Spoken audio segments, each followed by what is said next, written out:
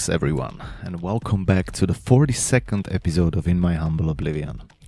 Slowly but surely, we're moving towards probably the most favorite season of the year by many the summer. And that means that our podcast will take a holiday break, returning into its form in September again. As last year, the last episode before the summer will not follow the regular schedule and segments you are used to but instead I prepared for you some pure summer mix you may play at your barbecue party, beach, pool, or wherever you're going to spend your holidays. So grab your favorite cocktail and enjoy the fun.